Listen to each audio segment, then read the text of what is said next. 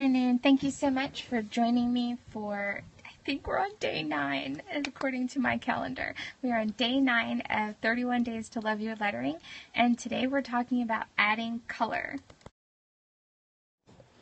Good afternoon. Thank you, ladies. Um, Thank you so much for your patience. I know I'm a few minutes late. Uh, if you follow Chaotic Blessing and Bold Turquoise, you know that they are in the midst of a big planner reveal. And so I was kind of on there for a few minutes while I caught the beautiful stuff that they've just released um, for Happy Planners and uh, a5 planners. So I just had to go check that out. So thank you for waiting around for me. I do appreciate it. I tried to get over here as soon as I could. Um, thanks for coming on in. I hope you've had a great week. Um, it's been so much fun for me to be going through this this this month again um, because I find that now that all the posts are up for you guys to kind of self pace through, I get to do these demos and kind of look more closely at um, how I'm showing you the letters and get to have fun with that. Um, so, yesterday I told you that this weekend I'll be sending out a bonus to subscribers, and so I've been busy all day finishing up those guide sheets. So, I'll give you, when I flip the camera around, um, or you know what, I'll give that peek at the end because, as you know, if you. oh, thank you, Ricky. Um, uh, our afternoon sessions are have um, a little demo spot kind of in the middle. I'll get to a formal introduction and then flip into demo mode where I won't be answering questions while I'm demoing, but I will open for questions at the very end of the broadcast because my hope is that little demo portion I'll be able to move over to YouTube later on for those people that are interested in um, catching the demonstrations but not able to sit through the chat.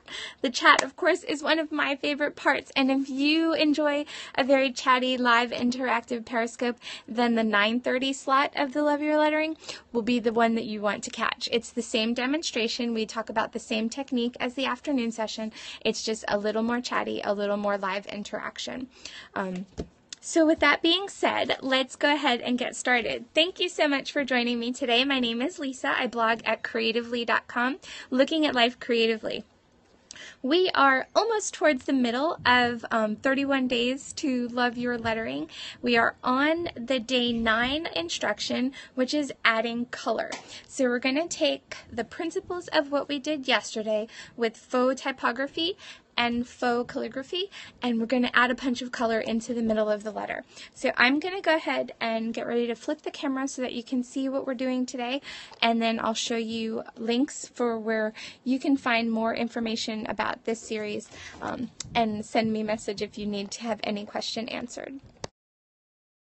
Okay, so there's the sample that's part of the blog post. Um, so this is what we're going to do. So this you'll recognize as the faux uh, typography that we reviewed yesterday and the faux calligraphy.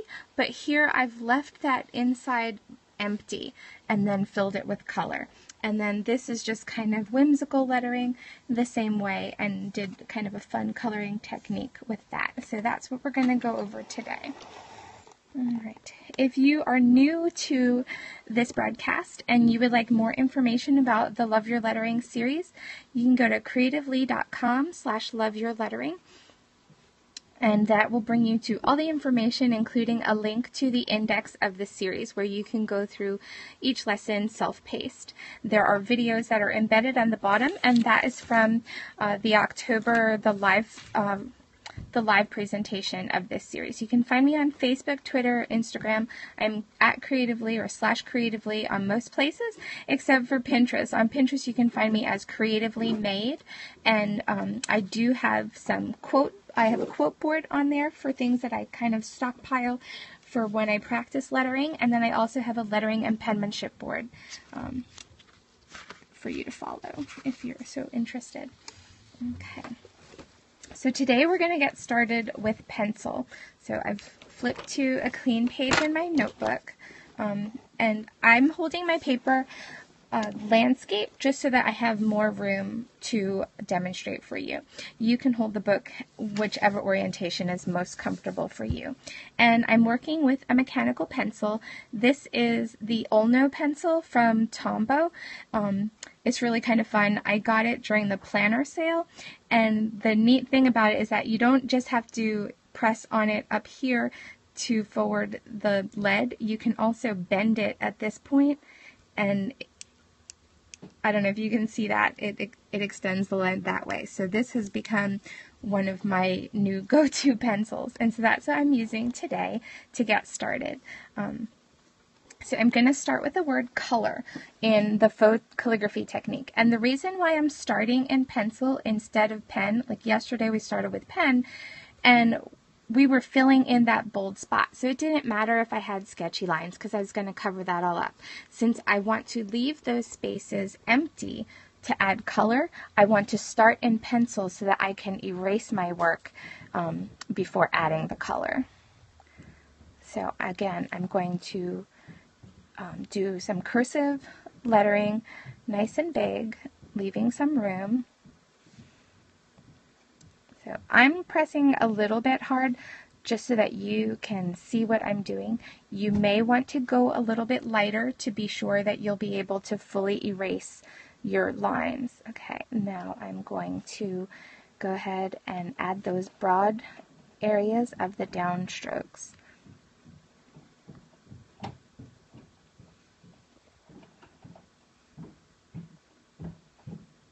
So sometimes I'll bring that in on the outside, sometimes I'll bring it in on the inside, depending on where I need to close up some of that counter or interletter space.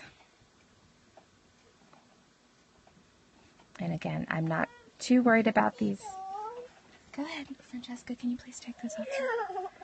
Um, okay.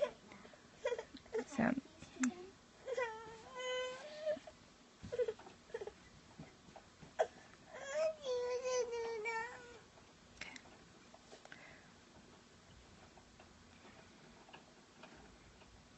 So you see it takes me a couple tries to get the look that I'm going for. Okay. And then what I'm going to do is go over that with a fine line pen. So I'm going to use the Zig Millennium 08, which is a pigment ink, which is light, fast, and waterproof.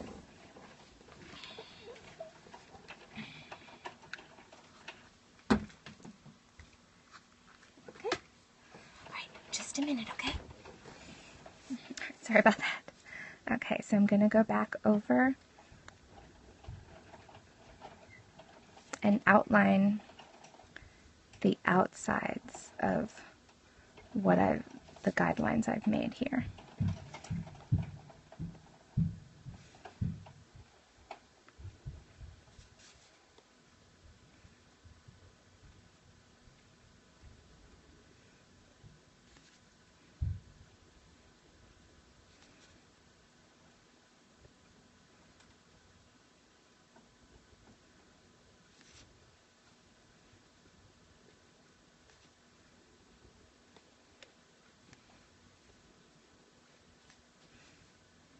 Okay. So I'll take a look at it, make sure I've gotten all the spaces. Okay. So you can see my pencil marks in there, um, black pen around it. Alright, so now normally I would give this just a couple minutes to ensure that the ink has dried before I erase because if I go too fast, um, it's going to pull the ink. So I'm going to go ahead and while I'm making sure that's drying, I'm going to go ahead and write um, punch and print.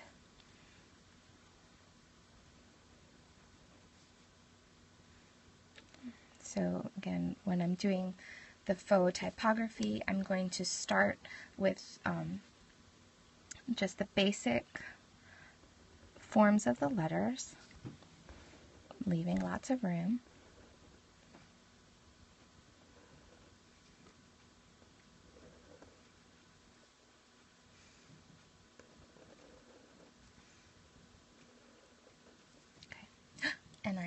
Should have done that with pencil first. I didn't. Oh my goodness. So sorry about that. Um, all right. Sometimes that happens, right? Okay, so I'm going to go ahead back with the pencil to make these these heavier marks.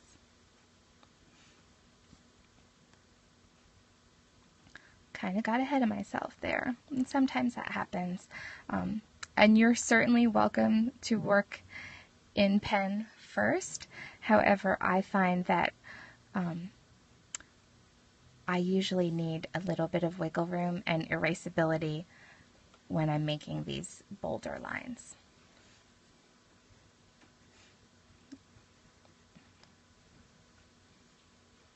I'm going to add a little terminal onto there.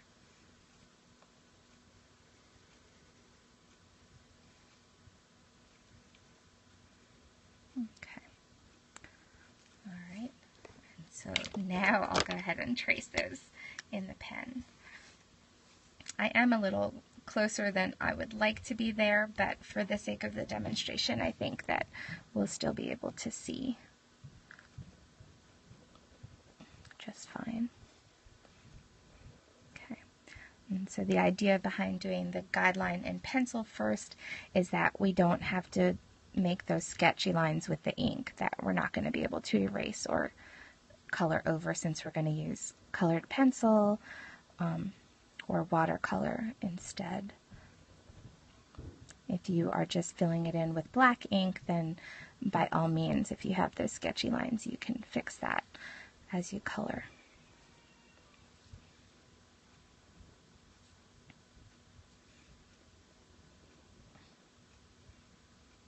Okay, and now one more word. I'm going to write fun, and I'm going to do that kind of whimsical style, which is, um, for, for this demonstration, I would say it's kind of a blend of, um, of print and cursive, so kind of italic-ish letters that have some curls, and so I'm going to go with a big spiral on the F, and a very curly um, curvy U. And the N would be kind of the inverse of that and curl that up as well. And so now to make these thicker, I'm going to use the same method and that anywhere that the pen stroke would have come down, that's what I'm going to go ahead and add that second line that's kind of broad. And I'm going to go ahead and curl up here and add that terminal. And let's make a curvy crossbar. Okay, so let's see. I'm going to start here and come down for that U. Um, I'm going to bring this one out here. And then the end will come down here.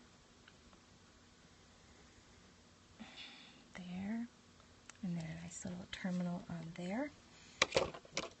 And then again, go ahead and trace with my trusty black pen.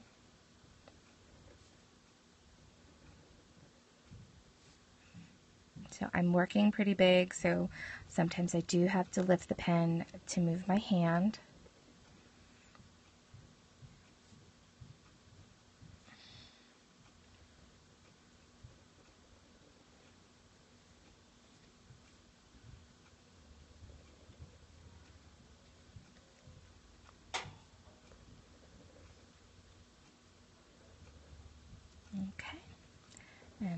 Finish up that N. And bring this around. So I'm going to stop there so that I can do this loop all in one swoop. So if I have to pick up the pen, I usually try to do that on a straight down. Sorry, I think probably zoomed in is trying to focus a little too much. Um, I try to stop on a straight part because it's easier for me to pick back up that stroke um, rather than trying to do that in the midst of a curve. So that may help. So, okay, now while this one dries, we should be good to go to erase up top here on the collar. and I'm using the Mono non-PVC plastic eraser. Um, I find that it gives me a good clean, um, clean erasing and the mess kind of, there's not the shavings, it just kind of stays together so it's easy to clean up from. So you can see my pencil is definitely going away.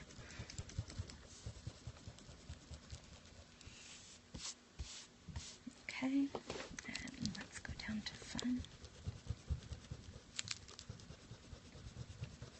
So just these big eraser things to get off. Okay, so now we've got our letters in place and we're going to color.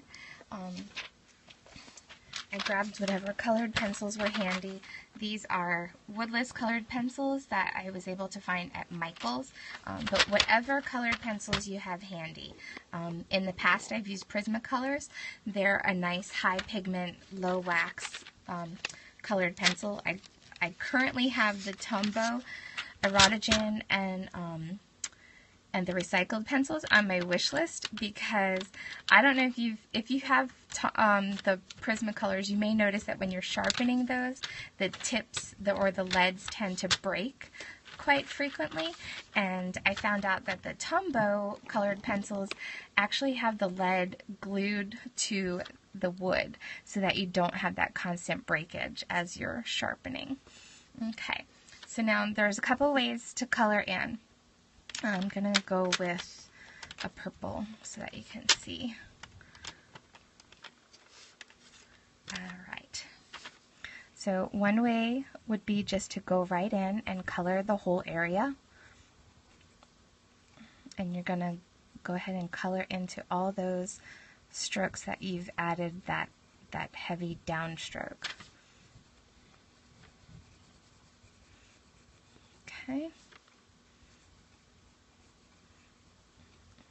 Now, the higher pigment colored pencils or the artist quality colored pencils are going to be a little bit easier on your hands to get the nice bold color. Sometimes the less expensive colored pencils are high wax and so in order to get that nice bold and vibrant color you're having to press hard where with the very rich pigment ones you can just go over it a couple times to bring out that brightness without pressing real hard into the paper.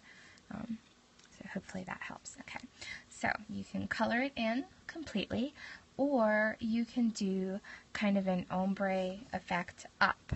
So I'll start at the bottom and the first time I'll make the pass almost up to um, the arch of the H and I've gone pretty light. Now the next time I'll go over it a little bit heavier but stop a little bit lower and each time I'm going um, just a little bit lower than I did before so that the color is kind of concentrating at the base and fading as it goes up.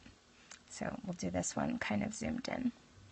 Okay, so I start off kind of lightly going through and kind of letting go a little bit more as I go up the letter.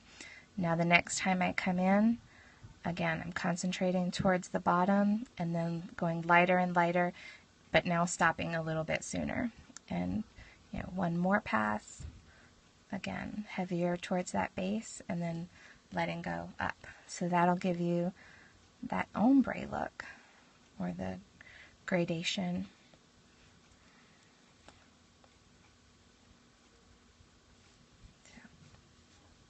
gives the letter some dimension too.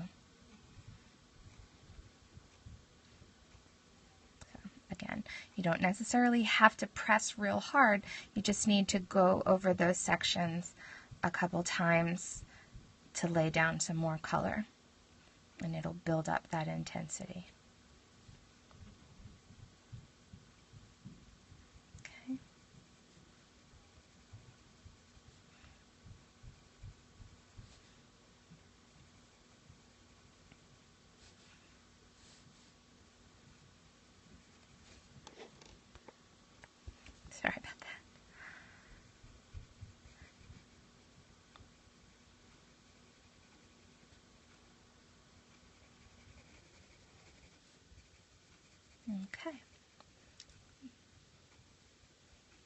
So there's our word punch because I find that when you change the coloring effect, it does add a bit of punch to what you've done.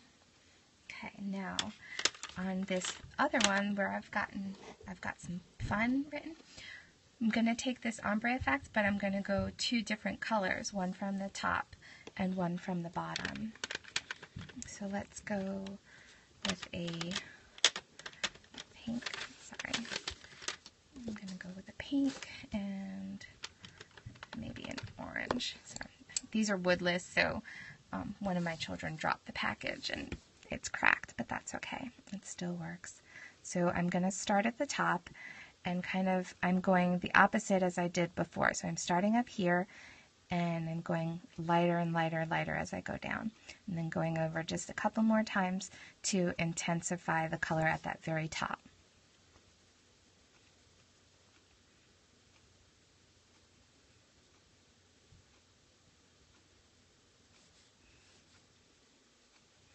So think up lots of different color blends.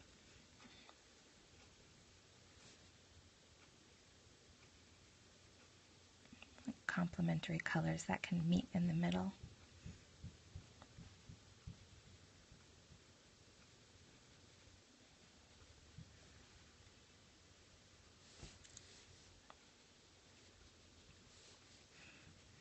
Okay.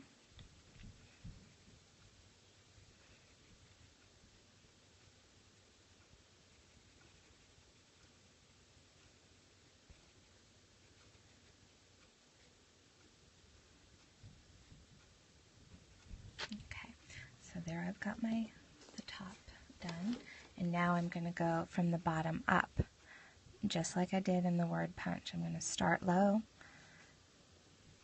and come up, kind of crossing over, letting the lightest parts of each color cross into each other.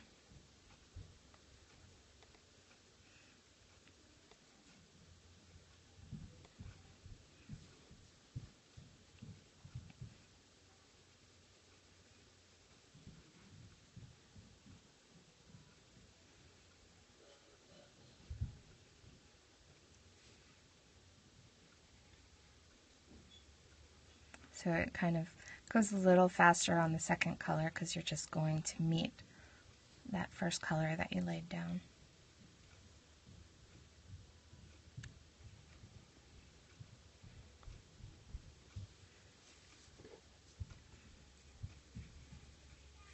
Okay. So now if you're working a little fast like I am now, and you have these spots that go outside of um, of the black line, you don't have to start again. There's actually something available um, to help you with that. Okay. Um, I am a brand ambassador for Tombow, so occasionally they send me products that I get to try out. And one of my favorite things that they've sent is the um, the sand eraser. Now this one is both sand, it's sand eraser on one side and rubber on the other, but this sand eraser can be used to erase ink and colored pencil. Um, it has just a little bit of grit, which allows it to um, pick up the mistakes because um, it's kind of sanding it away. So it works best when you're working on high quality paper, which are definitely the product projects that you don't want to start over again for just a small mistake. So I can just clean that up real easily. So there you have three different techniques for adding color to your lettering. And one more thing that you can do for fun, um, if you have a gray colored pencil or even black that you can work pretty lightly with, you can add a shadow around your lettering. And so for that, I just use the gray on the edge of the um, of the letter, and then just kind of go a little bit lighter on the way out. So it ends up making the font look like it's floating a bit. So you can do that just on one side as a drop shadow, or you can do it behind the whole letter, depending on the effect that you're going for. But it just adds just another, add some more added dimension to your work. So this is a gray colored pencil. You can use a regular drawing pencil too if you don't have gray in your set. Okay.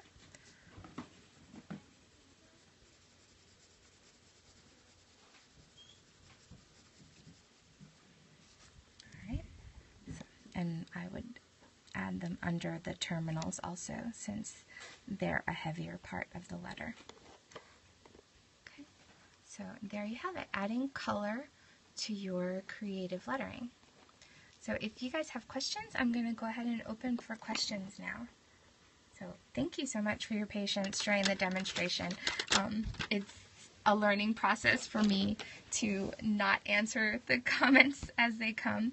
Which colored pencils do I recommend? There are many choices.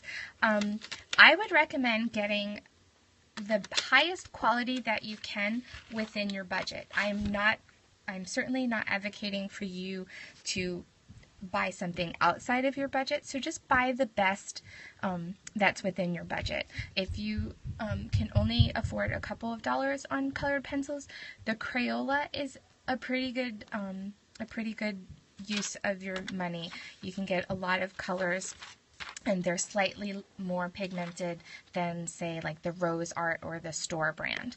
Um, so crayola would be kind of the my first choice. It's what i normally give my children to color with or when they do picture smart bible they use crayola because it gives them some blendability as they layer colors over each other. Um, and it's like i said it's a little bit more pigment than wax than the other ones are. Um, certainly if you have a coupon and a little extra money to get the Prismacolors at like if you have a local craft store like Michael's or Hobby Lobby, um, Prismacolors or Faber-Castell. They're artist quality colored pencils, and also Tombow has them online and on Amazon. They're um, recycled colored pencils, which are um, it's recycled wood, but it's the leads are, I believe, the same quality as the the higher um, artist grade that's on there. And the neat thing about them is that the the lead is adhered to the wood. Um, what other supplies can you use to color other than pencils? Yes, you can certainly use a watercolor brush. Um, any any inexpensive set will do. This is a watercolor set that was from Target, and so this was the UB brand. I do like the semi-moist watercolors, and you'll know they're semi-moist when you can see that bit of shine. Prang, P-R-A-N-G, is another brand that's fairly inexpensive. Um, and so it's those are a good way to start too and you can do that with a paintbrush or with a, a water brush um, so like this is a water brush from from Michaels and you just fill the barrel with water um, you can also use marker or use crayon there's lots of different things it's um, use what you have certainly until if you choose to add more supplies. Um, I'm getting that second line more smooth. I saw your your comment. Um, a lot of times it just takes practice. And if you're doing it in pencil first, you're giving yourself a little more leeway to erase and redefine as to, to your liking a little bit better. So I would certainly um, recommend practicing any of these techniques in pencil if you want just a little more practice without feeling like you're having to cross out or start over again. A pencil and eraser is a great training tool for creative lettering and even calligraphy. Um, so that would be definitely something that I would recommend. Um, do we have any other questions? Oh, you're so welcome, Lori. Um, all right, so I promised you a sneak peek, and so I'm going to give you that. So subscribers to my blog this weekend um, will be getting an update from me. So if you go to this page, there is a little subscription button towards the bottom of that. Um, and if you probably either Saturday or Sunday is when the newsletter will go out, and it's going to include. Um, I've got a sheet for the faux typography, and I'm working on the faux brush calligraphy now. And so I do have a question for you all. Um, so if you see how I formatted this sheet, I've got the uppercase or capital letters and the lowercase, and then a couple of variations on some of the letters. Um, and I've kind of made my notes handwritten um, in gray. So this will be scanned in and made digital, and it'll be in PDF to you guys. Um, and I've done one letter step by step because you're going to use the same technique for all the letters. Um, and so the A made sense for me for this sheet, I thought, um, because it kind of starts with a foundation letter and then you're adding the wide one, adding the feet, and then the crossbar and little details, and then a slight variation for some whimsy. Um, so now I need to choose a single letter to do step by step on the top of this one. So which letter do you think, and it'll be a capital or uppercase letter, um, but which letter do you think would be most helpful um, to get and drawn out a little bit bigger? Uh, if you have received anything from me in the past, whether it be blog posts and or um, a digital download, you do not need to subscribe again. If you've confirmed your subscription, um, you will get an email this week. A Y or an M. Hmm. Okay. M W. Yeah, I like the W because that's my last name initial, J or B. I thought about doing the B because the B is a fun one.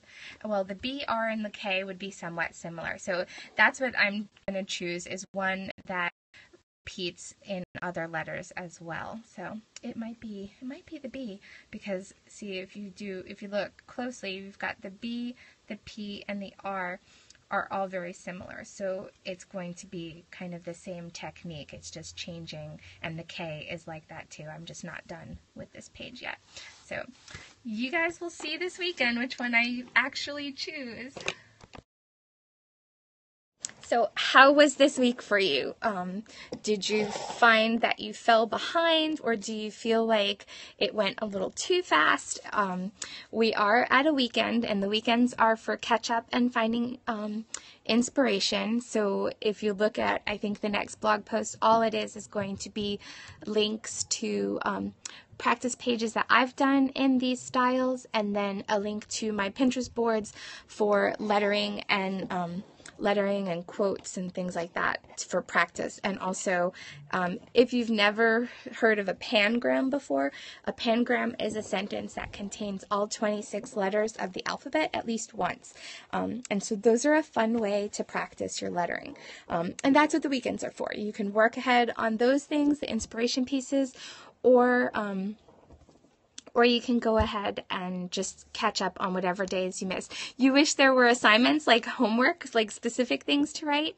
We're going to have to do um, challenges, I think, probably monthly challenges for the months that I'm not doing live demonstrations. Um, for those of you that might have been new to the Love Your Lettering series, it's a series that I originally wrote in October of 2015. Um, Oh, good. Yes, you should definitely continue, Heather. And I still owe you an email back. I have not forgotten.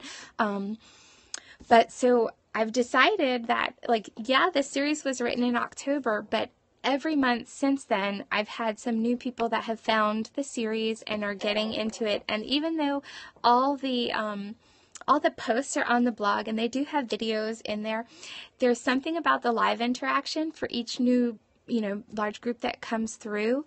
Um, that it's just fun to catch up the live version. And so, what I decided was that this year for 2016, um, once a quarter, I'm going to do the month long demonstrations again. But I think a good way to keep everybody continuing to work on their lettering is if we have um, some lettering or quote challenges on the months that we're not doing live. Um, that should be fun. You're so behind, you're throwing a baby shower tomorrow instead of catching up. It's okay. You're never fully behind. Um, yeah, Jenny, I lost count somewhere, but then I went back to the original index, and according to that, we're on day nine and we've not missed anything, except I think some of our catch up days got jumbled up. But as far as the instruction, that as the posts are written on the Love Your Letter, the original series, we are caught up to day nine and it brings us to another weekend catch up. So I know as I typed that out this afternoon, I'm like, I am going to confuse everybody. Um, I would probably post the challenges on both Instagram and um, the Facebook group or the Facebook page. Sorry. Um, and then maybe do a once a week uh, catch up. I don't know. I'll have to brainstorm that. You guys can help me throughout this month to brainstorm how we move forward because that's always the great challenge is after we get through a month together, we need to kind of pick up the momentum to keep going and keep ourselves accountable to practicing because the practicing makes all the difference in the world. I know I've heard lots of you say throughout the series before and this time you're like, well, my letters just don't look like yours and I can't get them smooth and this and that and the other thing. Um, and I've been doing this for over two decades, and um, I still practice every single day. Anytime there's a bit of scrap paper around me, um, it's usually covered in alphabets. So, the okay, I'm gonna have to sign off here. but thank you so much for joining me this afternoon. I will be back on at 9:30 for our more chatty version of the Love Your Lettering, and I look forward to seeing you all um, Monday if I don't see you tonight. Have a great um, Love Your Lettering would be the hashtag. Sorry. I will talk to you guys later or on Instagram.